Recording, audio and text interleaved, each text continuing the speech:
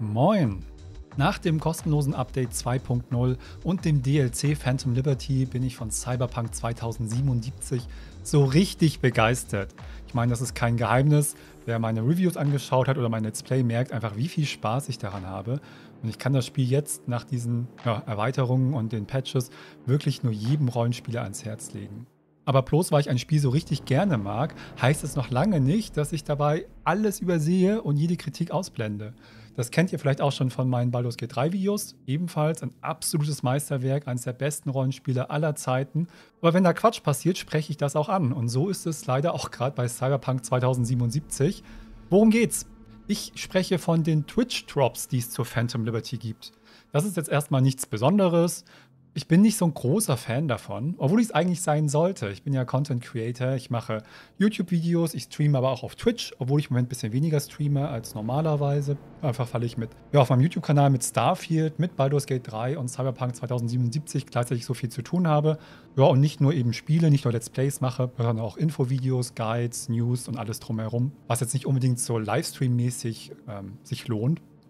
Aber ähm, normalerweise streame ich auch mehr auf Twitch. Und diese Twitch-Drops, wer das gar nicht kennt, das ist normalerweise so, wenn ein Spiel neu rauskommt, dann kann man seinen Game-Account äh, über die, sag ich jetzt über Cyberpunk, ähm, eben das CD Projekt Red Account oder bei Baldur's Gate 3 war es der Larian-Account, den kann man mit dem Twitch-Account verknüpfen und wenn man dann einem Livestream zu dem Spiel zuschaut, meistens irgendwie eine Stunde oder zwei, dann kriegt man Ingame-Items freigeschaltet für sein Spiel passiert dann automatisch, wenn man das einmal verknüpft hat, findet man dann, sobald man da genug zugeschaut hat, in seinem Inventar, wenn man das Spiel das nächste Mal startet, diese Items. Und das gibt es jetzt auch bei Cyberpunk. Also es geht natürlich darum, von dem Publisher, von dem Entwickler, dass ihr Spiel auf Twitch viel geguckt wird, weil das dann in den Charts nach oben rutscht. Ja, und je höher ein Spiel in den Charts ist, in den Twitch-Charts, desto mehr Leute werden darauf aufmerksam, die vielleicht das Spiel jetzt noch nicht so auf dem Plan hatten, die dann denken, oh, so viele Leute gucken dazu, das muss ein tolles Spiel sein. Dann gucken sie in die Streams rein und finden das Spiel vielleicht gut und kaufen sich das. Das ist einfach das Rational, die Idee dahinter, warum machen das die Entwickler. Und für die Content Creator hat es vielleicht den Vorteil, dass mehr Leute in den Stream schalten, allgemein auf Twitch, weil sie eben diese Drops bekommen wollen. Und vielleicht ja, finden sie den Streamer dann so toll, dass sie denken, oh, der ist ganz cool, da schaue ich häufiger rein. Das ja so ein bisschen der Vorteil für die Streamer. Meiner Erfahrung nach ist das so, ja, dass die Leute, also die bei mir eh schon zuschauen auf Twitch, die gucken dann rein, sowieso. Um, ähm, und dann hast du aber noch so eine Welle von Leuten, die einfach in den Stream schalten, in irgendeinen, meistens einen, der halt relativ weit oben ist, ist denen dann völlig egal, weil sie vielleicht normalerweise gar keine Streams gucken und sehen aber, da sind die Drops aktiviert, die wollen halt nur diese, in, diese Ingame-Items abgreifen, und fragen dann auch mal so, wie kriege ich jetzt die Drops? Das funktioniert nicht. Und dann dreht sich, finde ich, viel zu viel, gerade am Anfang, wenn das aktiv ist, im Twitch-Chat, um diese Drops. Es geht ja nicht mehr um das Spiel, es geht nicht mehr um die Community oder irgendwelche legitimen Fragen zum Stream oder zum Spiel, sondern es geht immer, wie der Drop funktioniert nicht, wie geht das jetzt, warum? Und das nervt mich eher. So, da habe ich diese Leute da, ich will die Drops jetzt auch nicht ausmachen in meinem Stream, weil es gibt natürlich auch Leute, die mich eh gerne schauen und denen will ich ja nicht die Drops ausschalten, dass die die woanders besorgen müssen. Also man ist da ein bisschen so einer Zwickmühle. Ich finde das jetzt nicht so gut. Ist aber auch jetzt nicht super schlimm. Ich will es jetzt auch nicht zu hoch kochen, ja. Zum Release von Cyberpunk 2077 Phantom Liberty gibt es die Twitch-Drops jetzt eben auch für das Spiel. Das heißt, ihr müsst äh, in die Twitch-Streams reinschalten und jeweils eine Stunde zugucken. Die Sache ist allerdings erstmal, dass es vier Items gibt: eine Hose, Schuhe, eine Jacke und Headgear, eine Kopfbedeckung.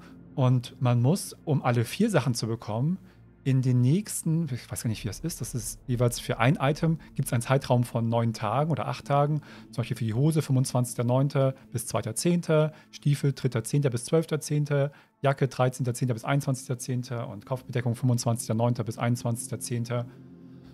Also man muss jeweils in dem Zeitraum eine Stunde einen Stream mit aktivierten Drops zuschauen ist schon mal einfach nervig, weil es dann nicht mehr einfach so ein netter Bonus ist, sondern was, was man sich irgendwie auf den Zettel schreiben muss.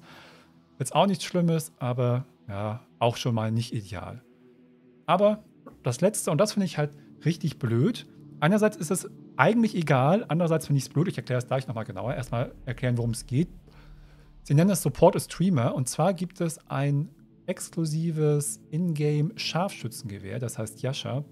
Das kann man über die gesamte äh, Zeit von 25.09. bis 21.10. bekommen.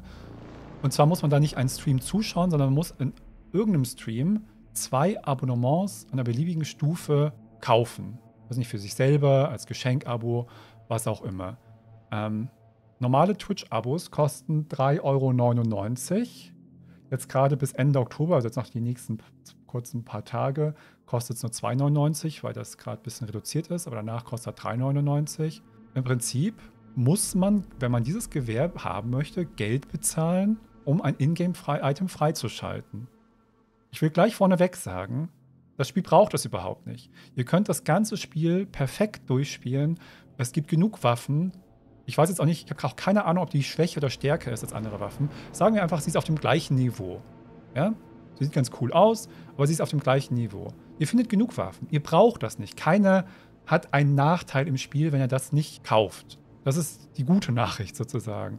Die schlechte Nachricht ist, dass ich mich noch gut an diese Zeit erinnere, wo das so richtig schlimm war. Es hing so vor zehn Jahren vielleicht gefühlt an und vor fünf Jahren gab es diese Welle, wo wirklich irgendwie so viele Ingame-Items, wo Spiele ein bisschen drauf konzipiert waren, dass du dir nicht unbedingt einzelne Items unbedingt kaufen konntest, das auch, aber auch viel Quality of Life, irgendwie manche Sachen musstest du nicht machen, manche Open-World-Aktivitäten, ähm, schneller XP bekommen. Die, die Publisher und Entwickler haben alles Mögliche versucht, um noch zusätzlich Geld zu verdienen mit Items und Services drumherum, die das Spielerlebnis aber beeinflussen. Nochmal, das ist in Cyberpunk hier nicht der Fall.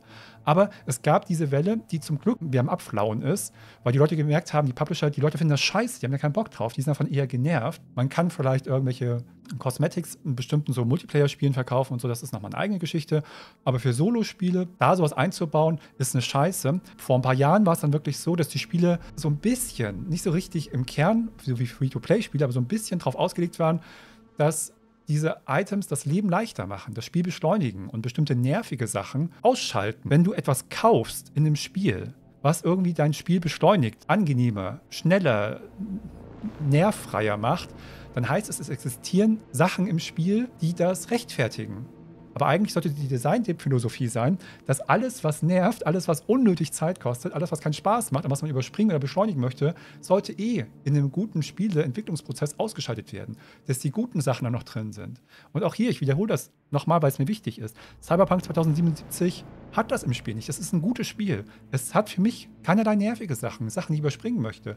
Es gibt natürlich irgendwelche Gigs und Nebenmissionen, die mich nicht so interessieren. Die mache ich dann nicht. Und die brauche ich aber auch nicht, um das Spiel durchzuspielen. Das ist nur für Leute, die noch mehr in der Welt erleben wollen, weil sie so begeistert sind. Aber wir hatten diese Welle vor ein paar Jahren und die ist bis am Abflauen, weil einfach die Entwickler erkannt haben, dass das nicht ähm, beliebt ist, dass die Leute dagegen sind und auch sich dagegen äußern. Und ich finde einfach, wenn jetzt CD Projekt Red, die für mich ein besonderer Entwickler sind, so ein bisschen nicht, naja, so ähnlich, sag ich mal, wie Larian. Larian aktuell noch ein bisschen höher, aber man muss jetzt auch nicht das abwägen. Aber ich sag mal, einfach ein Entwickler, dem ich sehr vertraue, den ich sympathisch finde, den ich mag, der für mich ein gutes Produkt macht, wo gute Leute arbeiten, die wirklich ähm, an ihre Kunden denken, an die Spieler und denen das alles wichtig ist. Es hat so einen Knacks bekommen damals mit dem Release von Cyberpunk 2077, aber das haben sie wirklich wieder ausgebügelt mit den ganzen Patches in den letzten Jahren, dieser ganzen Patch-Politik, mit dieser Hingabe und Leidenschaft, wie sie sich um Cyberpunk gekümmert haben, den ganzen kostenlosen Sachen, jetzt abschließend dem kostenlosen großen Update 2.0 und dann dem sehr hervorragenden, dem wirklich tollen Add-on Phantom Liberty, sind sie für mich einer der guten Entwickler. Ja? Also gut im Sinne von, dass sie gutes Produkt machen, aber auch gut im Sinne, dass es die Guten sind. Und gerade wenn dieser Entwickler dann sowas macht, wo dann einfach wieder ein Ingame-Item nur verfügbar ist, wenn man dafür Geld bezahlt. Vor allem auch noch auf so eine Weise, sie profitieren ja in dem Anf in Anführungszeichen nicht mal selber. Es ist ja nicht so, dass sie für sich selber das machen, dass sie selber Geld damit verdienen, sondern Twitch verdient Geld damit, Amazon verdient Geld damit und der Streamer, bei dem das passiert, verdient Geld damit. Auch damit sollte ich eigentlich als Twitch-Streamer und Content Creator froh sein und hoffen, dass sich das jetzt irgendwie einbürgert, dass jedes Spiel sowas rausbringt. Weißt du, wenn man meinen Stream schaut und mich abonniert und noch ein Abo verschenkt, kriegt man noch fünf Autos und drei Knarren und noch äh, eine Romanze mehr. Weißt du, als Bestes, macht doch nur noch Spiele, wenn jemand mich abonniert, kriegt er das halbe Spiel nochmal oben drauf. Also wenn ich egoistisch sein würde, würde ich halt sagen, ja, mach das die ganze Zeit. Aber ich mag das nicht. Ich finde das nicht gut. Und ich mag es auch jetzt in dem Fall nicht, weil es einfach das normalisiert. Bringt andere Entwickler auf die Idee, sowas ähnliches zu machen. Und wieder einfach das Gefühl bei den Leuten, ah ja, es gibt Ingame-Items für Geld. Und auch CD Projekt Red macht das. Ja, dann können das auch wieder andere machen. Und naja, es machen irgendwie alle. Dann regen wir uns einfach gar nicht mehr drüber auf. Und so, nee, ich will das nicht. Ich will auch diesem nochmal vielleicht diesem vorgreifen, dieses, gibt ja dieses FOMO, Fear of Missing Out. Dass man jetzt sagen kann, ja, hey, du brauchst das Gewehr doch gar nicht, dann ärgere dich doch auch nicht drüber, dass das gibt.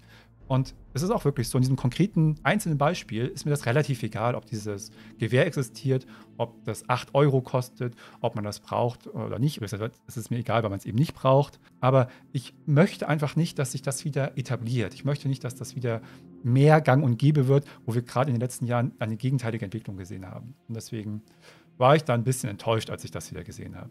Naja. Aber ansonsten, ich habe richtig viel Spaß an Phantom Liberty, an Cyberpunk. Ich hoffe, ich sehe euch bald wieder in einem meiner, in einem meiner nächsten Videos zu Cyberpunk, in meinem Let's Play oder Baldur's Gate 3 Starfield oder was auch immer. Euch noch einen schönen Tag und bis dann. Ciao.